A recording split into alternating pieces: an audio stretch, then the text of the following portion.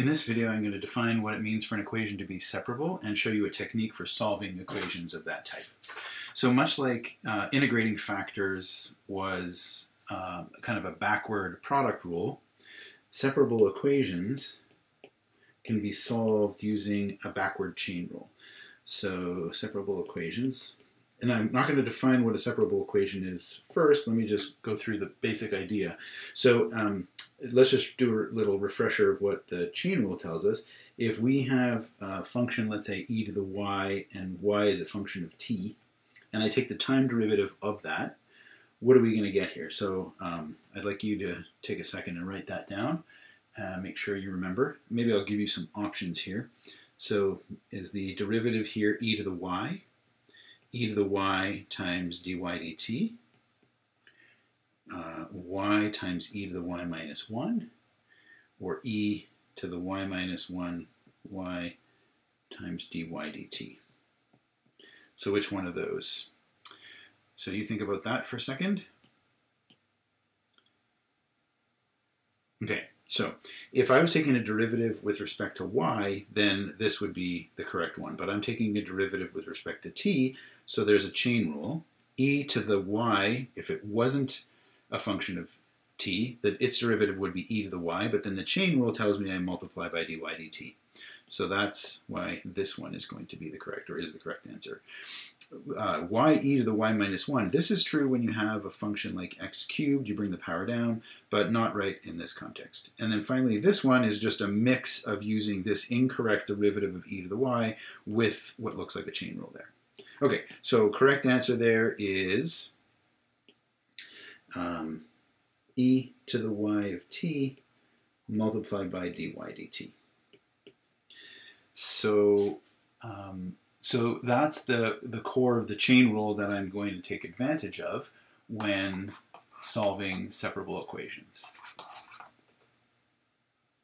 So, um, so let's try and solve the following equation. Let's say we have an equation dy dt, and I'm going to switch to a y prime uh, at some point here because I don't want to keep on writing all that out, is equal to e to the y, e to the minus y times t squared.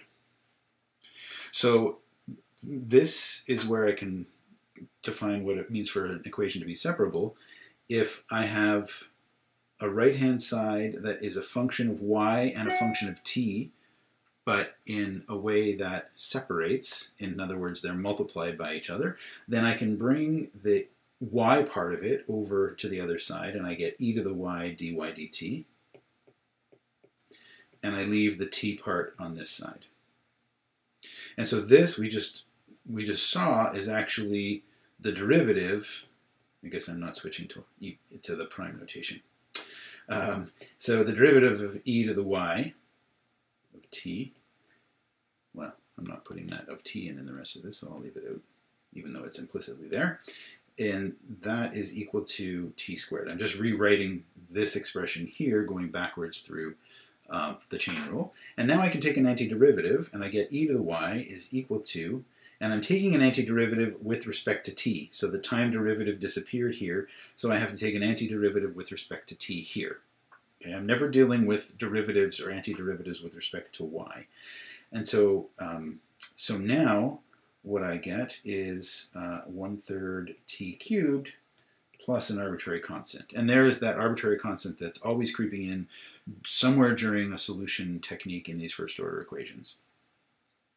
And so, um, so now we have um, a solution, or at least we can write down a solution.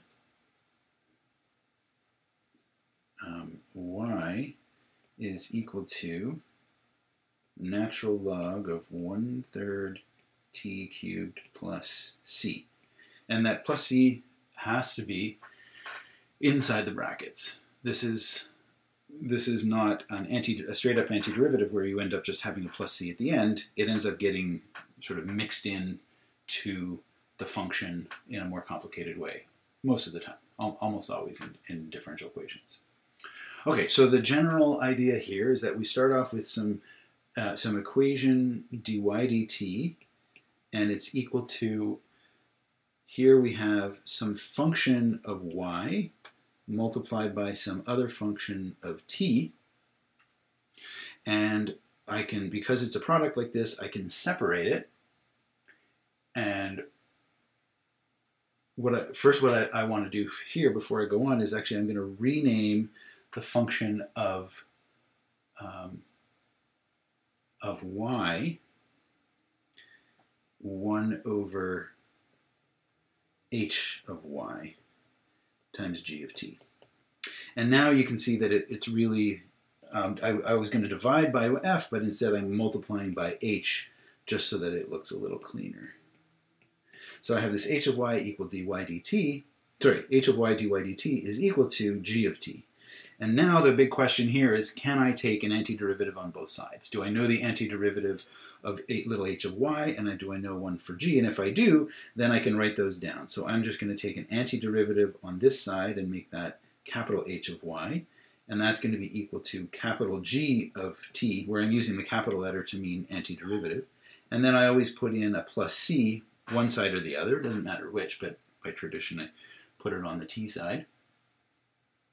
And so that is um, that is the overall form. Now, if we're lucky, then we can solve this for y by inverting the function h. And in this example down here, we saw we inverted the exponential function to get the log function, but in general it looks like this.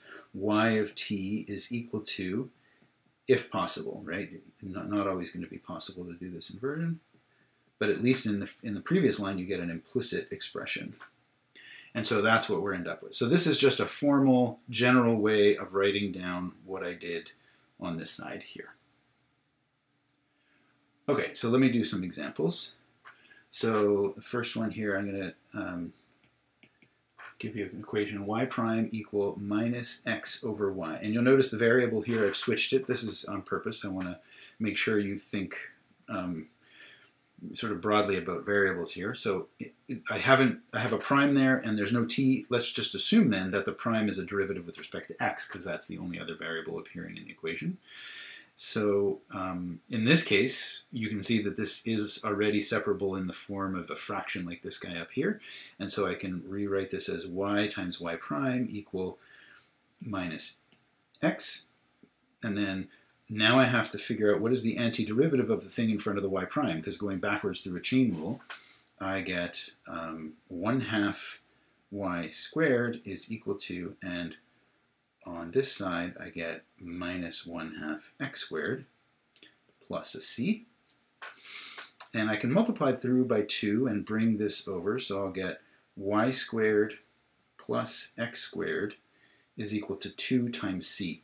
Now, c is just some arbitrary constant, um, and so I can switch my arbitrary constants to a new name and absorb the 2. And I may never care now about what c is. Now I'm to, if I ever get an initial condition, I have to figure out what d is, and I don't worry about c. So basically what I've just found is that um, if I think of d as uh, something squared, my solutions all lie on a circle. Okay, so that's what's going on here. And if you think about what that means in the original equation, we can see why that is. On a circle,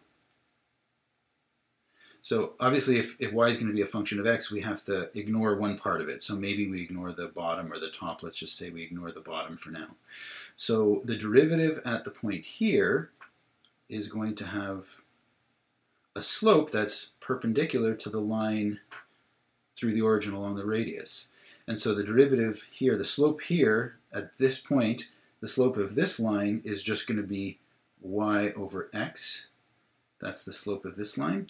And so this line here has to have a negative reciprocal minus x over y, which is exactly what we see in the derivative here. The derivative is equal to minus x over y. So that's actually not surprising. We should have been able to see that had we been sort of clever before we started. But now we can see it um, by getting uh, an actual expression for the solution. Now, if I ever want to solve an initial condition, let's say I, I, I tell you that y of 0 is equal to minus 1. So if I had continued and solved y equal square root of d minus x squared, I'd run into trouble because I can never make this negative with that square root expression. And so I actually want to use this expression here, the implicit one, to solve some initial conditions because I'm trying to solve an initial condition that's down here, which this expression totally ignores. Okay. Okay, so I'll, I'll, uh, I'll cut that off there and um, go on with uh, maybe some more examples and some other ideas in a subsequent video.